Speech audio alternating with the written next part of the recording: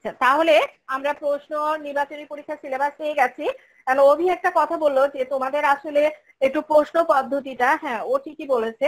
তো যেহেতু আমাদের সময়ও আছে, তাহলে আমরা অধ্যায় আট শুরু না করে অধ্যায় সাতের আমরা প্রশ্ন নিয়ে একটু আলোচনা করি। যেহেতু অধ্যায় সাত আমরা শেষ করলাম। তাহলে অধ্যায় সাত যে আমরা শেষ করেছি, এই অধ্যায় সাতের কোশ্চেন নিয়ে আমরা এখন আলোচনা করব। হুম?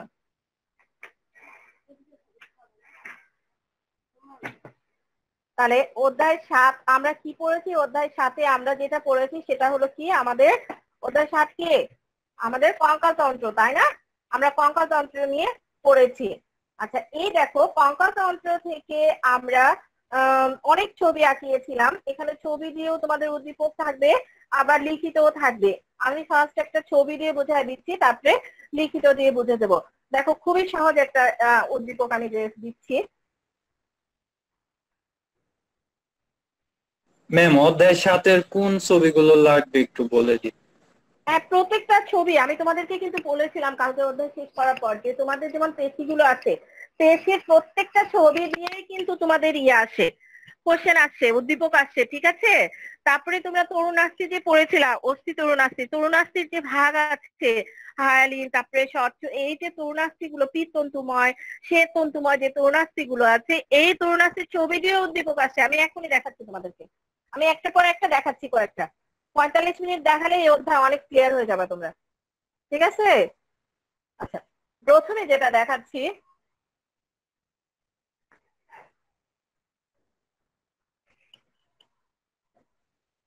একটা বক্স আমি আকারে নিলাম। দেখো, এখানে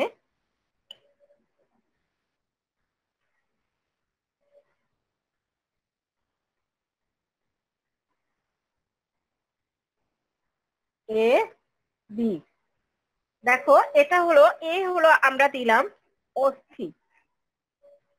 অস্থি। আর বি হলো হ্যাভারসিয়ান তন্তু। হ্যাভারসিয়ান হ্যাভারসিয়ান তন্তু। এই হলো আমাদের এটাই উদ্দীপক। এখন দেখো, এখানে ফার্স্ট ধরো, একে কোশ্চেন দিয়েছে যে এখানে আছে যে অস্থি কি, এটাও দিতে পারে। হ্যাঁ অস্থি কি?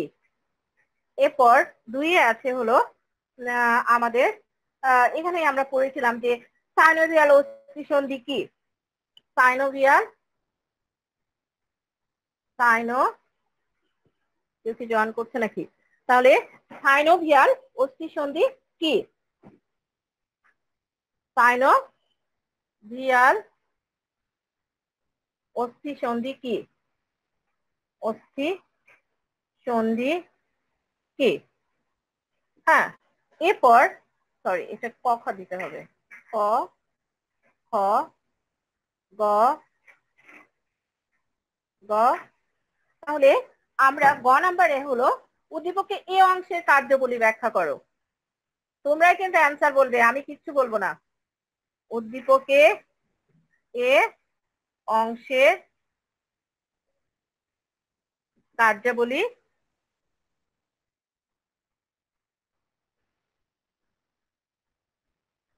ব্যাখ্যা করো। এরপর ঘ নাম্বারে আসবে হলো ঘ নাম্বারে আমাদের আসবে উদ্দীপক উল্লেখিত বি অংশটি এ অংশের গঠন ও কাজের একক।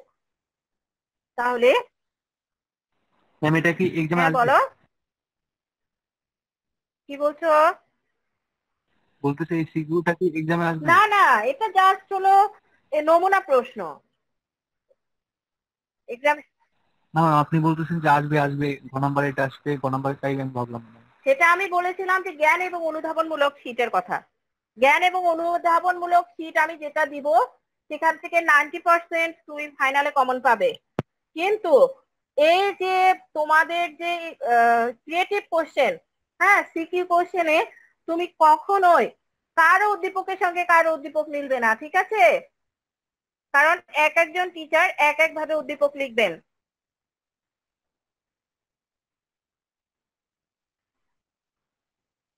এটা জাস্ট একটা নমুনা প্রশ্ন, তোমরা কীভাবে ধরবে প্রশ্নের অ্যান্সার এই জন্য এই ইয়েটা আমি দেখাচ্ছি। অভি বলল যে, ম্যাডাম, এখান থেকে কীভাবে কোশ্চেন আসবে? আমাদের একটু ই করেন। তা যেহেতু অধ্যায়টা শেষ হয়ে গেছে, তাহলে এটা আমরা বলতে, এটা আলোচনা করতেই পারি সেই জন্য আর কি। বুঝেছ? যদি এটা আসেও, কিন্তু এটা দিয়ে আসবে না। এই উদ্দীপকটা দিয়ে আসবে না। কারণ এটা তো আমি একটা বই থেকে লিখছি, হঠাৎ করে তো ও বলছে। কিন্তু আমি যখন উদ্দীপক দিব, তখন আমার মাথা থেকে আমি বের করে নিব। উদ্দীপক এমন। নাহলে অন্যেরটা ধার করা হবে। কিন্তু তোমার টপিকটা একই থাকবে। টপিকে কোনো চেঞ্জ হবে না। তুমি শুধু ধরে নিতে হবে অ্যান্সারটা আচ্ছা এখন দেখো, তোমাদের একের সাপোজ আমরা এটা এক নাম্বার কোশ্চেন ধরি, একের কতে কি আছে? অস্থি কি। তোমরা তো জানো অস্থি কি। সরাসরি আছে সাইনোভিয়াল অস্থি সন্ধি কি এটাও বুঝতে পারছ। আমি এগুলোতে যাচ্ছি না, তাহলে সময় লাগবে। এখন উদ্দীপকে এই অংশে কার্যাবলী ব্যাখ্যা করো। তোমরাই বলো এই অংশ কি? তোমরা বলো এই অংশের নাম কি? দেওয়াই আছে। এই অংশের নাম? অস্থি বর্ণনা করতে। অস্থি। তাহলে গ নাম্বার কোশ্চেনে কি দেওয়া আছে? গ নাম্বার কোশ্চেনে কি দেওয়া আছে? বোর্ড দেখা যাচ্ছে? ম্যাম ওই লেখাটা বুঝ- বুঝতে পারতেছি না।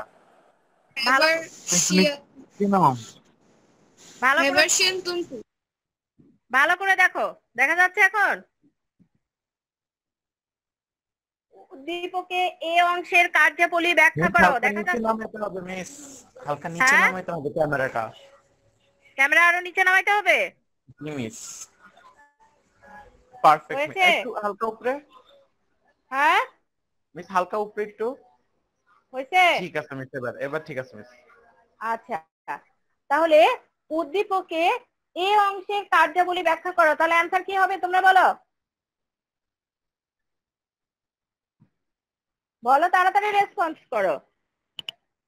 উদ্দীপকে এ অংশের কার্যাবলী ব্যাখ্যা করো গ নাম্বার আছে তাহলে অ্যান্সার কি হবে? অভি তুমি বলো অ্যান্সার কি হবে? ম্যাম অস্থির কাজগুলো লিখতে হবে। হ্যাঁ তাহলে কিন্তু আগে তোমাকে কি করতে হবে? এ আইডেন্টিফাই করতে হবে। যে উদ্দীপকে উল্লেখিত এ অংশটি কি অস্থি উদ্দীপকে উল্লেখিত এই অংশটি কি অস্থি এটা লেখার জন্য তুমি একটা মার্কস পেয়ে যাবা। তোমরা তো জানো যে তোমাদের গ নাম্বার কোশ্চেনে কত মার্কস থাকে?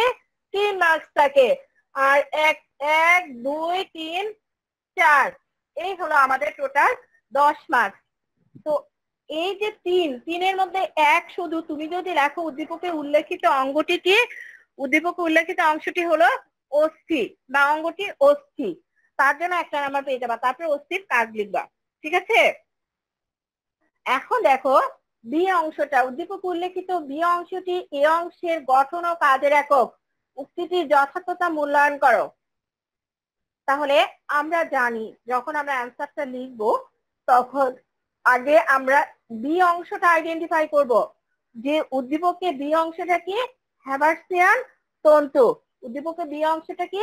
হ্যাবার্সিয়ান তন্তু। আর এ অংশটা হলো অস্থি। আর এটা কি? এই বি অংশ হলো এ অংশের কি? গঠন এবং কাজের একক। হ্যাঁ? এভাবে লিখতে হবে। এটা কেন গঠন এবং কাজের একক? শুধু এই বর্ণনাটা লিখে দিবা। তাহলে এই উদ্দীপকটা বুঝেছ তোমরা? এই উদ্দীপকটা বোঝা গেছে? জি ম্যাম আচ্ছা এখন গ নাম্বার অ্যান্সারটা একটু বলেন গ নাম্বার তো তোমার হলো গ নাম্বার কি হবে তোমার? গ নাম্বার তো লেখাই চার নাম্বার ম্যাম চার নাম্বারটা এটা হলো এই যে হ্যাভার্সিয়ান তন্তু যে এ অংশের গঠন এবং কাজের একক এটা বলেছে। বোঝা গেছে? ওটা বর্ণনাটা লিখবে। কেন গঠন এবং কাজের একক? কীভাবে সে কাজ করে গ- গঠন এবং কাজ? ঠিক আছে? তাহলে এটা হলো হ্যাঁ। এখন আমরা দেখো আমি একটা ছবি এখন দুটো ছবি দিয়ে আমি আবার কোশ্চেন দেখাচ্ছি।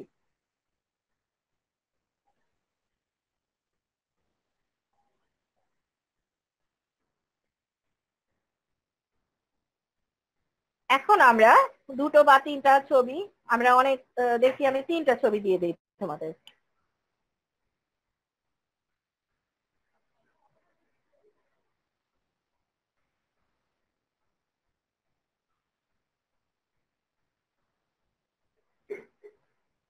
ছবিগুলো একটু বোঝা ডিফিকাল্ট হয়ে যায়, কারণ বোর্ডে ছবি খুব একটা ক্লিয়ার থাকে না। এই জন্য ছবি সম্পর্কে ভালো ধারণা থাকতে হবে।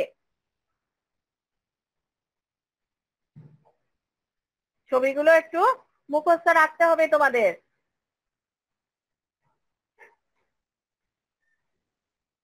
মার্কারে কালি একটু কমে গেছে, এই জন্য মনে হয় তোমরা ছবিটা বুঝতে পারছ না। আচ্ছা। না মিস ঠিক আছে তো কালি মিস। কালি ঠিক আছে বোঝা যাচ্ছে না। অনেকে যে তোমরা ওই যে বলছো হালকা দেখা যাচ্ছে লেখা। মিস হালকা তাহলে গাঢ় করে আঁকেন। তাহলে এই আমাদের ফিগারগুলো আমি আঁকায় দেখাচ্ছি। এটা একটু মোটা করেই দেই দিকটা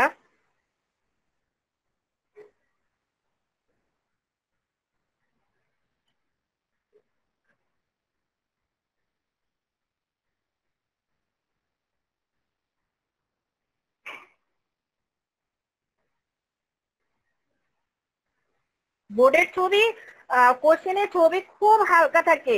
এটাই বললাম যে, এই জন্য কোশ্চেন ছবি সম্পর্কে তোমাদের খুব স্বচ্ছ ধারণা থাকতে হবে। হ্যাঁ? কারণ ওরা ফটোশপ থেকে ছবি নিয়ে ইয়ে করে, ওরা আর অত ভাবে ইয়ে করে না।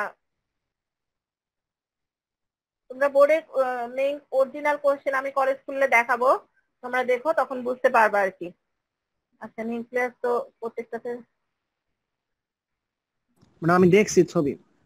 হ্যাঁ খুব খুব মাঝে মধ্যে- মাঝে থাকে। মধ্যে মাঝে মধ্যে বই থেকে সরাসরি প্রিন্ট দেওয়ার চেষ্টা করে ঠিক মতো আসে না। মাঝে মধ্যে নিজের হ্যাঁ। হাতেই করে মনে হয় যে একটা ছোট বাচ্চা ছবিটা আঁকছে। এত খারাপ হয় হ্যাঁ। ছবি বুঝাই যায় আবার না। ছবি বোঝা যায় না।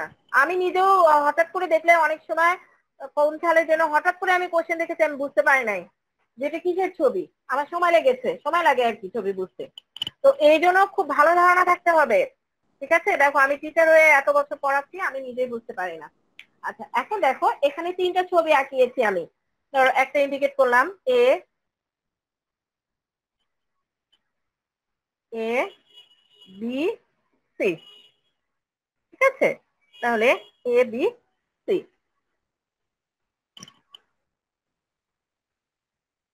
A B C এখন উদ্দীপক, ধরো, ক নাম্বারে এখানে আছে হলো একটা প্রশ্ন, যে সার্কেলোমা কি? কালকে পড়াইছি। Sarcolemma. সার্কো লেমা কি? গতদিনে তোমাদেরকে পড়িয়েছি। খ নাম্বারে আছে হলো অস্থি ও তরুণাস্থির মূল পার্থক্য। অস্থি ও তরুণাস্থির তরুণাস্থির মূল পার্থক্যগুলো লিখো। মূল কেন বলেছে পার্থক্য? কারণ অস্থি তরুণাস্থির কিন্তু অনেকগুলো পার্থক্য আছে। কারণ তুমি দুই মার্কসের জন্য লিখবে। সেখানে কি তুমি আটটা পার্থক্য লিখবে? অবশ্যই না। কারণ তুমি সর্বোচ্চ চারটা পার্থক্য লিখবে। চারটার বেশি লেখার মোটেই দরকার নাই। এই জন্য মূল পার্থক্য বলেছে। আবার অনেক সময় তোমার যদি মনে না থাকে, চারটার জায়গায় যদি তুমি দুটোও লিখে দাও, তাও দুই মার্কস পাবে। আমরা যখন বোর্ডের খাতা দেখি, তখন যদি দেখি যে সে মেইন দুটো লিখেছে, তখন দু মার্কস তাকে দিয়ে দেই। হ্যাঁ? তাহলে আমরা অস্তিত্ব উন্নয়নের মূল পার্থক্য গ নাম্বারে থাকবে এখানে উদ্দীপকের A B A O B এর সাথে উদ্দীপকে এ ও বি এর সাথে সাথে সি এর সি এর বৈসাদৃশ্যগুলো বৈসাদৃশ্যগুলো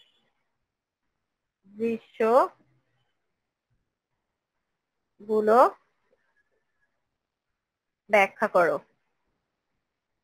ব্যাখ্যা করো। এরপর ঘ নাম্বারে ধরো, এখানে আছে এ বি সি ছাড়া মানব জীবন অসম্ভব। উদ্দীপকের এ বি সি ছাড়া ছাড়া মানব জীবন মানব জীবন মানব জীবন কি?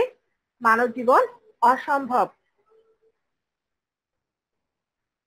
অসম্ভব। বিশ্লেষণ করো।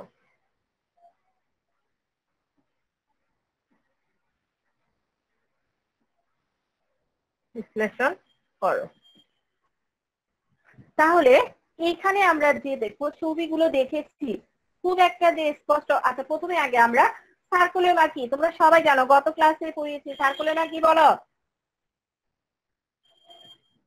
পেশি কলার কোষ আবরণী হলো সার্কোলেমা সার্কোলেমা কি?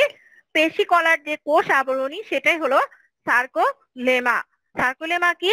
পেশি কলার যে কোষ আবরণী সেটাকে বলা হয় কি? সার্কোলেমা বোঝা গেছে? পেশি কলার কোষ আবরণীকে বলা হয় কি? সার্কোলেমা। এরপর অস্তিত্ব উনাশি পার্থক্য যে জানোই, তবে এখানে বলেছে যে তোমাদের মেইন পার্থক্য চেয়েছে, মূল পার্থক্য। মূল পার্থক্য কি? হ্যাঁ দুটোতেই কিন্তু ম্যাট্রিক্স আছে। তাহলে ম্যাট্রিক্সের যে পার্থক্য, এটা লিখতে হবে যে অস্থি ম্যাট্রিক্সটা কেমন? এটা কঠিন, হুম, অনমনীয় এবং অস্থিতিস্থাপক। তরুণাস্থির ম্যাট্রিক্স কেমন? অর্ধ কঠিন নমনীয় স্থিতিস্থাপক। আর একটা পার্থক্য যে অস্থি কোন আবরণ দিয়ে আবৃত? পেরিওস্টিয়াম। অস্থি কোন আবরণ দিয়ে আবৃত? পেরিওস্টিয়াম। আর তরুণাস্থি যে আছে, তরুণাস্থি হলো পেরিকার্ডিয়াম আবরণ দ্বারা আবৃত। এই দুটো পার্থক্য যদি লেখো, তাও দু মাস পেয়ে যাবা, কিন্তু দুটো মেইন হতে হবে। তবে চারটা লেখা ভালো। এখন এখানে বলা হয়েছে গ নাম্বারে উদ্দীপকে এ ও বি এর সাথে সি এর বৈসাদৃশ্যগুলো ব্যাখ্যা করো। তাহলে আমরা এ এবং বি এর সাথে যে সি এর যে বৈসাদৃশ্য মানে এখানে এ কি? আমি তো তাই জানি না। দেখো এটা কি? তোমরা পেশি পড়েছো? হ্যাঁ? আমরা যে তিনটা ছবি এটা- মসৃণ বেশি হ্যাঁ তিনটাই কিন্তু কিসের ছবি? পেশির ছবি। তাহলে এ হলো মসৃণ পেশি। তাহলে বি কি? বি হলো তোমাদের রৈখিক পেশি। আর সি হলো এই যে মাঝে। ইন্টারক্যালেটেড ডিস্ক তাহলে ইন্টারক্যালেটেড ডিস্ক থাকলে কি হবে?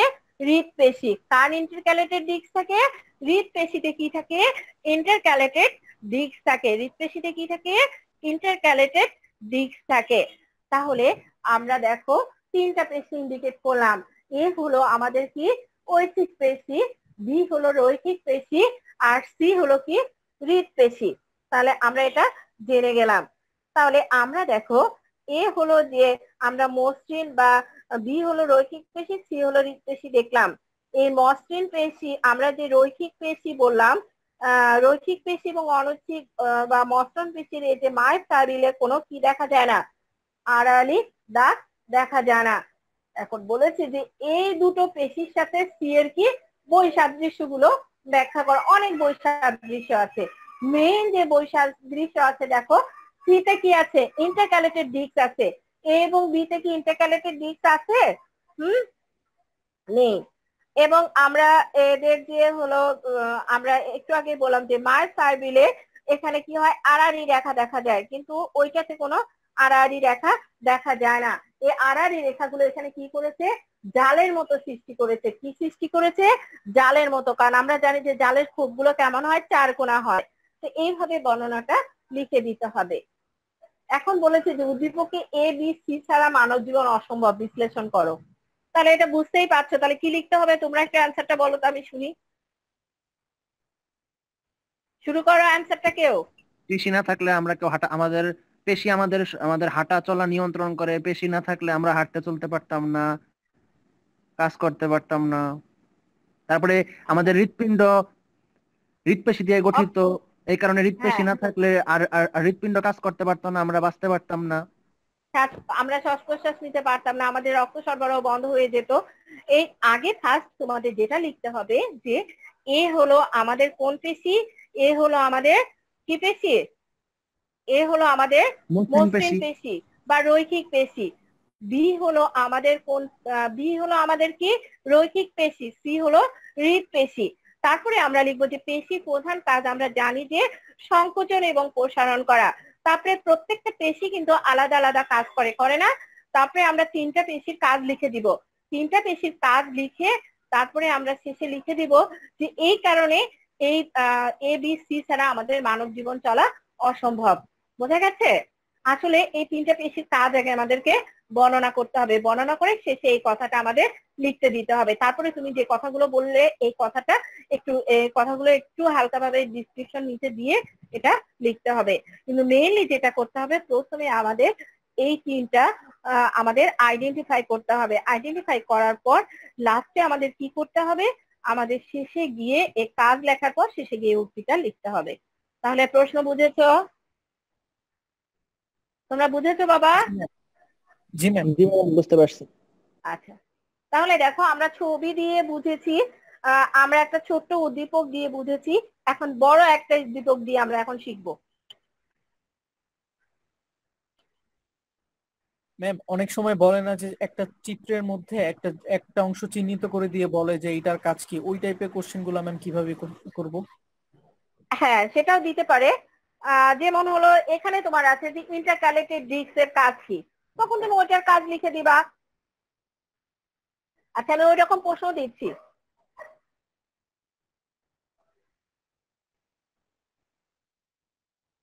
এই যে দেখো, তোমাদের সহজ একটা আমি উদ্দীপক ওইরকম দিচ্ছি।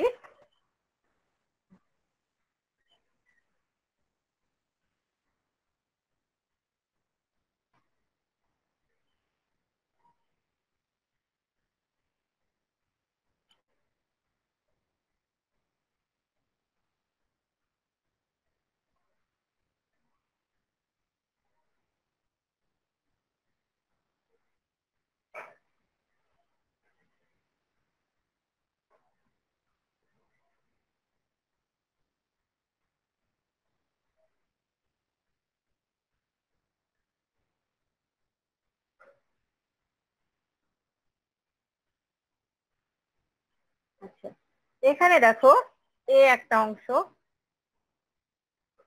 বি একটা অংশ। এখানে যে প্রশ্নটা আছে এ নাম্বারে উদ্দীপকে উল্লেখিত চিত্রে এ অংশের প্রকারভেদ আলোচনা করো। আসলে এখানে এটা কি আমি তো বুঝতেইছি না। বুঝতেছি বলো তো? এখানে বলা হয়েছে যে হ্যাঁ এ অংশের প্রকারভেদ আলোচনা করো। তাহলে যদি পরীক্ষায় আসে এ অংশের প্রকারভেদ আলোচনা করো তুমি বলেছ অস্থি সন্ধি। কিন্তু আসলে আমি জানি যে এটা অস্থি সন্ধি নয়। আমি একটু পরে বলছি। ম্যাম এটা কি মস্তক? না এটা মস্তক নয় এটা হাড়। এটা হাড়ের আমরা যে এটা একটা হাড়। আচ্ছা এটা আর একটু জয়েন্ট থাকবে এখানে। জয়েন্টটা দিতে এই জয়েন্টটা বোঝা যাচ্ছে না। মানে উদ্দীপকে জয়েন্টটা দেয় নাই। তারপরে এখানে একটা জয়েন্ট থাকবে। না থাকলে তোমরা বুঝতে পারবে না। আচ্ছা এখানে একটা জয়েন্ট হ্যাঁ? কিন্তু তোমাদেরকে এইভাবে বুঝে নিতে হবে বাবা। এটা খুব আহ, এই জিনিসগুলো খুব ডিফিকাল্ট ভাবে থাকে এই কোশ্চেনটা তো টেন্ডন না টেন্ডনও না। ম্যাম তরুণাস্থি। ইয়েস কীভাবে বুঝলে? আমাকে বলো। যে কে বলেছে তরুণাস্তি ম্যাম আমি অভি? বলেছি। জি ম্যাম হ্যাঁ অভি বলেছ ম্যাম ওই হ্যাঁ, যে ওই এটা চিত্রে আসলে- আপনি যে একটা ভাঁজ দিয়েছেন না কেমন? ওইটা দেখে ম্যাম বুঝলাম যে হ্যাঁ এই যদি এই ভাঁজটা না থাকে তাহলে বোঝাটা খুব ডিফিকাল্ট হয়ে যায়। কিন্তু তোমরা যখন দেখবে যে একটা অস্থি কি হয়েছে এইভাবে বেড়ে গেছে। হ্যাঁ অস্থিটা বেড়ে গিয়ে সেখানে এই আমি কিন্তু এইটাতে ইন্ডিকেট করিনি। আমি কি তার মেমব্রেনটাতে ইন্ডিকেট করেছি? আমি কিন্তু একটু ভিতরে দিয়েছি। এবং এটা খেয়াল করতে হবে বোর্ডের যে কোশ্চেনগুলো আসলে বোর্ডে যে আমাদের কোশ্চেন করা হয়, এখানে অনেকগুলো ক্যাটাগরি ভেবে ভেবে চিনতে তিনটা ক্যাটাগরি ভেবে চিনতে কোশ্চেন করা হয়। সেই তিনটা ক্যাটাগরি কি কি? একটা হলো যে কেউ পাস করবে, কেউ মোটামুটি রেজাল্ট করবে, আর কেউ ভালো রেজাল্ট করবে। যারা ভালো রেজাল্ট করবে, সে যেন আটটা কোশ্চেনের মধ্যে তোমাদের যেহেতু পাঁচটা আনসার করতে হয়, তোমরা দেখবে যে তিনটা কোশ্চেন খুব মোটামুটি ইজি ভালো ইজি থাকে। আর বাকি যে দুটো কোশ্চেন তোমরা অ্যান্সার করতে যাবে এই দুটো কোশ্চেন অ্যান্সার করতে গেলে তোমাদের একটু ভেবে চিন্তা করতে হবে। তাহলে বুঝতে পারছ যে এটা কেন করা হয়েছে? ভালো রেজাল্ট যারা করবে, যারা একটু বেশি পড়াশোনা করবে, তাদের জন্য এটা করা হয় একটু বাঁকায়। কিন্তু অ্যান্সার কিন্তু একদম সহজ। তাহলে এটা হলো কি? তরুণাক্ষী হ্যাঁ? তাহলে এটা কিন্তু আমি যে আমি তোমরা বুঝতে পারছিলাম না জন্য আমি কিন্তু এই লাইনটা দিয়েছি। কিন্তু আমি যে প্রশ্ন থেকে দিয়েছি, সে প্রশ্নে এই লাইনটা দেওয়া নাই। আমি জানি তোমরা বুঝতে পারবে না। তাহলে এ হলো তরুণাশ্রী তাহলে দেখো প্রশ্নে বলা হয়েছে যে উদ্দীপকে উল্লেখিত চিত্রে এ অংশের প্রকারভেদ আলোচনা করো। এখানে গ নাম্বার প্রশ্ন কি? উদ্দীপকে উদ্দীপকে উল্লেখিত উল্লেখিত এ অংশের এ অংশের কি আলোচনা করো? এ অংশের প্রকারভেদ আলোচনা করো। প্রকার ভেদ আলোচনা করো।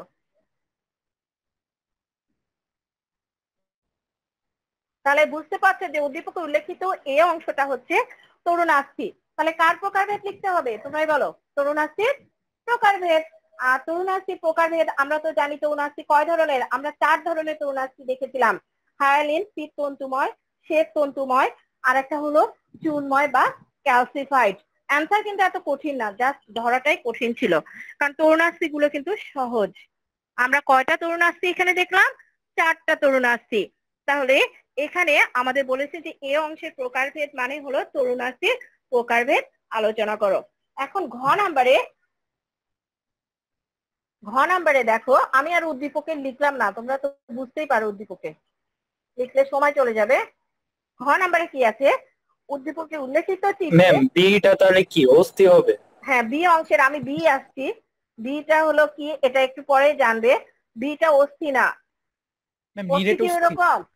হ্যাঁ? নিরেট এটা অস- অস- অস্থির গঠন ও কাজে রাখো কি? একটু আগেই বলেছিলাম।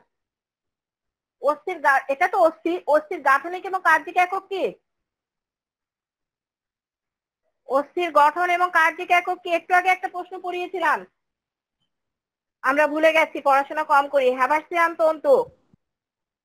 তাহলে আমরা লিখব উদ্দীপক উল্লেখিত চিত্রে বি অংশ।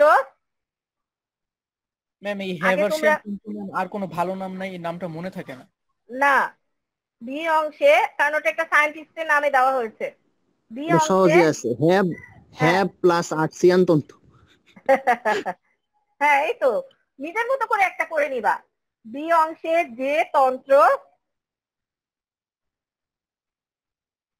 নিজের মতো করে একটা তৈরি করে নিবা, যাতে মনে থাকে। আমরা তো তাই করে নিতাম। কারণ সায়েন্টিফিক নেমগুলো আমরা এইভাবে করে নিতাম। নাহলে মনে থাকে না তো। তার সচিত্র বর্ণনা করো বা বিশ্লেষণ করো। একই কথা, যা হয়, যেভাবে থাকে, সেভাবে। তাহলে দেখো, বি অংশে বি অংশে যে তন্ত্র গড়ে উঠেছে, তার সচিত্র বর্ণনা করো। আমরা জানি যে বি অংশ হলো এখানে আমরা অস্থির গঠন এবং কার্যিক একক হলো হ্যাবাস্টিয়ান তন্তু। আর এখানে কি লিখতে হবে তাহলে? আমাদের যে হ্যাবাস্টিয়ান তন্তু আছে এই হ্যাবাস্টিয়ান তন্তুর বর্ণনা দিতে হবে। এই প্রশ্নটা কিন্তু অনেক ডিফিকাল্ট মানে বোঝাটা ডিফিকাল্ট কিন্তু কোশ্চেন এত কঠিন না। তাহলে এই কোশ্চেনটা বুঝেছে? বুঝেছ? ম্যাম তাহলে ম্যাম আমরা পরীক্ষা ম্যাম চিত্র সহ কোশ্চেন অ্যান্সার না করলেই পারি যেগুলো ম্যাম উদ্দীপক না তোমাকে শোনো তোমাকে বুঝে অ্যান্সার করতে হবে। দেখা যাবে যে তুমি বুঝতে পেরেছ। আর এখন তো ডিজিটাল বাংলাদেশ হয়েছে অনেক কিছু ইমপ্রুভ হচ্ছে। তোমাদের পরীক্ষার সময় হতে দেখা যাবে যে ছবিগুলো অনেক ক্লিয়ার চলে আসছে। বোঝা গেছে? কারণ আগে তো আসলে অনেক সময় মনে করেন বুঝলাম একটা বুঝে ওইটা অ্যান্সার দিলাম কিন্তু দেখা গেল যে পুরাই ঘুরে গেছে। চাইছে একটা আমি দিছি আরেকটা। তখন ম্যাম তো পুরাই হ্যাঁ কিন্তু কথা হলো যে বাবা একটু ক্রিটিক্যালগুলো অ্যান্সার না করলে তুমি তো ম্যাম দেখেন এইখানে কিন্তু বোঝা যাচ্ছে যে এটা একটা অস্থির কথা বলতেছে। হ্যাঁ। হ্যাঁ এটা যদি দিয়ে দিতাম পরীক্ষা তাহলে কি হতো ম্যাম এখন যে ভুল হয়ে যেত কিন্তু কথা হলো যে এটা বুঝে একটু পড়াশোনা করলেই বোঝা যাবে দেখলেই বোঝা যাবে তুমি এত অরিড হওয়ার কারণ নেই। আর এই ধরনের কোশ্চেনগুলো অ্যান্সার করলে এ প্লাস পাওয়া যায়। না হলে এ প্লাস পাওয়া যায় না রে বাবা। ঠিক আছে? হ্যাঁ? এ প্লাস পাইতে গেলে তোমাকে এই ধরনের কোশ্চেনগুলো অ্যান্সার করতে হবে।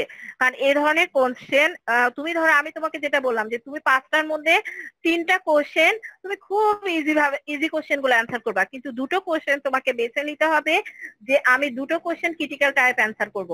আর দুটো যদি তুমি ক্রিটিক্যাল টাইপ অ্যান্সার না করো, তাহলে তোমার ভালো রেজাল্ট হবে না। কারণ ওইভাবেই দেওয়া হয় কোশ্চেনগুলো। ঠিক আছে? আচ্ছা। যেটা বুঝবে সেটা আনসার করবে। এর মধ্যে তোমার সহজ আছে কঠিন আছে। তুমি হয়তো দেখা যাবে যে একটা ডিফিকাল্ট একটা ছবি দিয়ে দিচ্ছে তুমি সেটাই বোঝো। এটা কোনো ব্যাপার না আর ভয় পাওয়ার কোনো কারণ নাই। পরীক্ষা অনেক দেরি আছে।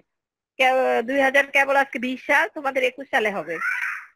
একুশ সাল অনেক দেরি। ঠিক আছে? এর মধ্যে অনেক পড়াশোনা হয়ে যাবে আমাদের। তাহলে আমরা এই যে এই কোশ্চেনটা আমরা বুঝেছি সবাই। হুম? এখন কি আর একটা উদ্দীপক আর একটা লিখিত উদ্দীপক দেখায় এতক্ষণ তো শুধু ছবি দিয়ে ছবি দিয়ে দেখালাম। ধরো একটা উদ্দীপক আছে রিক্সা থেকে পড়ে গিয়ে সজীবের বাম পায়ের হাড় ভেঙে গেছে এবং পেশি ছিঁড়ে গেছে। ডাক্তার তাকে পুরা ছয় মাসের বিশ্রামে থাকতে বললেন। আচ্ছা দেখো এখানে আমরা এখানে যে আমরা যে করেছি আহ, এটার উপরে এটা কোশ্চেন আছে। তো আমরা এই এই ধরনের কোশ্চেনগুলো আছে।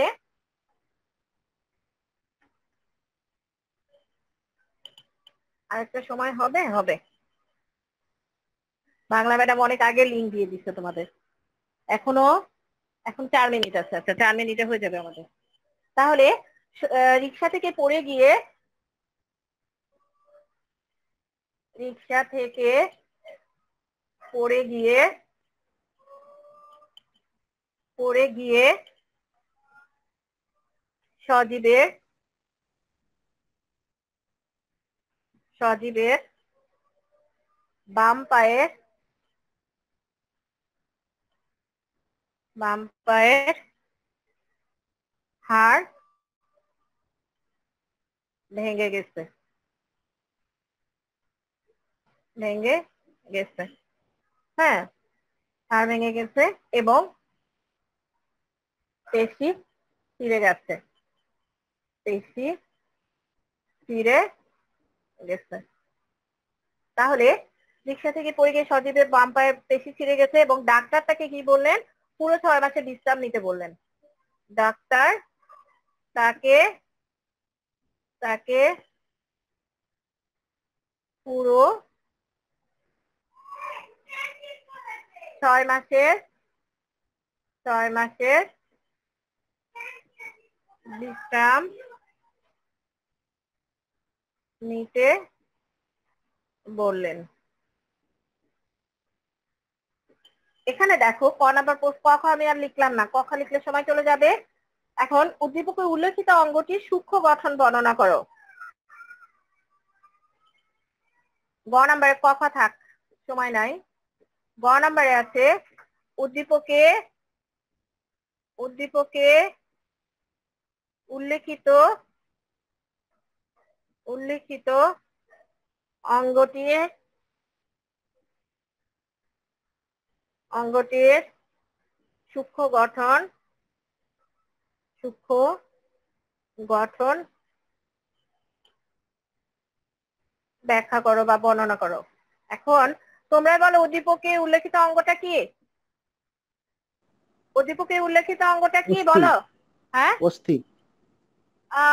হ্যাঁ অস্থিটা আসলে আহ, ঠিক আছে অস্থিটা আসলে অঙ্গ না। হ্যাঁ নিশ্চয়ই এখানে অঙ্গের কথা পুরোপুরি উল্লেখ করা আছে। রিক্সা থেকে পড়ে গিয়ে পা। হ্যাঁ তার কি ভেঙে গেছে? পা ভেঙে গেছে। তাহলে উদ্দীপকে উল্লেখিত অঙ্গটি হলো পা এবং এখানে বলা হয়েছে বাম পা। বাম পা মানে হলো আমাদের যে কঙ্কাতন্ত্র আছে এই কঙ্কাতন্ত্রের যে উপাঙ্গিক কঙ্কাল আছে আমাদের উপাঙ্গিক কঙ্কালের যে পশ্চাৎ পদের এটা একটা অংশ। এবং আমরা জানি যে আমাদের এই যে পা, পায়ে কয়টা অস্থি থাকে? তিরিশটা অস্থি থাকে। তাহলে আমাদের বাম পায়ে কয়টা অস্থি আছে? তিরিশটা অস্থি আছে। এবং সেই অস্থিগুলোর নাম কি কি আমরা লিখব? যে ফিমার, প্যাটেলা টিবিও ফিবুলা, টার্সাল, মেটাটার্সাল ফ্যালাঞ্জেস হ্যাঁ? এবং এগুলো সবগুলোই হলো নিরেট অস্থি। এই অস্থিগুলো কি অস্থি? নিরেট অস্থি। এবং এই অস্থির হলো গাঠনিক একক কি? হ্যাবাস্টিয়ান তন্ত্র। এবং হ্যাবাস্টিয়ান তন্ত্রটা কেমন? এটা আমরা লিখে দিব। এবং ল্যামিনি আছে এখানে। যে ল্যামিনি আছে সেখানে ফাঁকা স্থানে ল্যাকুনি আছে এবং ফাঁকা স্থানে কি আছে? অস্থি কোষ অবস্থান করে এবং ল্যাকুনি গুলোর চারপাশে আবার সংযোগ স্থান আছে। আমরা মোটামুটি এই বর্ণনাগুলো লিখে দিব। এরপর পরের প্রশ্ন, যে উদ্দীপকের সমস্যাটি নিরাময়ে কি ধরনের ব্যবস্থা নেওয়া যেতে পারে বলে তুমি মনে করো? তাহলে উদ্দীপকে উদ্দীপকে সমস্যাটি সমস্যাটি নিরাময়ে নিরাময়ে কি ধরনের কি ধরনের ব্যবস্থা ব্যবস্থা নেওয়া যেতে পারে বলে যেতে পারে বলে পারে বলে মনে তুমি মনে করো। মনে করো। তাহলে দেখো তার সমস্যাটা কি? এটা আগে তো আমাদের জানতে হবে। তার কি হয়েছে? হ্যাঁ তার সমস্যাটা কি বলো? তার সমস্যাটা লিগামেন্ট ছিঁড়ে গেছে। মানে হাড় ভেঙে গেছে। লিগামেন্ট পরের কথা। আগে তার সমস্যাটা হলো এখানে বলা আছে। হাড় ভেঙে গেছে। দেখো উদ্দীপকেই বলা আছে। তার কি হয়েছে? হাড় ভেঙে গেছে। তাহলে ফার্স্ট তোমরা লিখবে যে উদ্দীপকে উল্লেখিত সমস্যাটি হলো কি? হাড় ভাঙা বা অস্থি ভঙ্গ। নিরাময়ে যে ধরনের ব্যবস্থা নেওয়া হবে তা নিম্নরূপ। তারপরে তোমরা লিখে দিবা যে কি কি ব্যবস্থা আচ্ছা নিতে হয়। এটা হাড় ভেঙে গেছে এটা ম্যাম তিন ধরনের আছে না? এটা ম্যাম কোন ধরনের? এটা বুঝব কীভাবে? নিরাময় একই রকম। নিরাময় হ্যাঁ, কোনো সমস্যা নেই। তোমার এখানে তিনটারই নিরাময় কিন্তু প্রায় সেম ধরনের। এখানে কিন্তু তোমার ওই প্রকার ভেদটা লিখতে হবে না তার হাড় যে ভেঙে গেছে। তুমি এখানে বলা হয়েছে যে ডাক্তার তাকে পুরো ছয় মাসে বিশ্রাম দিয়েছে। আর তুমি লিখেছো যে সমস্যাটি নিরাময়ে কি ধরনের ব্যবস্থা নেওয়া যেতে পারে? মানে এটা প্রতিরোধে তুমি কি ব্যবস্থা নিতে পারো? এই ঠিক আছে? তোমার এখানে ওই যে তিন ধরনের যে অস্থিভঙ্গ আছে, যে সাধারণ অস্থিভঙ্গ, যৌগিক অস্থিভঙ্গ, জটিল অস্থিভঙ্গ, এগুলো আসবে না। তোমার এখানে যে তার হাড়টা ভেঙে গেছে, এখানে কিন্তু বলা নেই যে তার দুটো হাড় ভেঙে গেছে বা হাড় ভেঙে চামড়া টুকরা ভেদ করে বের হয়ে আসছে। তারপরে বলা গেছে যে চামড়া ভেদ করে বের হয়ে আসেনি। এই যে তিন ধরনের যে হাড় ভাঙা আছে, এটা কিন্তু এখানে বলা হচ্ছে না। তাহলে তুমি কি করবে? তুমি নিরাময়টা লিখে দিবে। তাহলে মোটামুটি তোমাদের এই হলো। ইয়া, ঠিক আছে? তাহলে তোমাদের অন্য ক্লাস টাইম হয়ে গেছে। হ্যাঁ?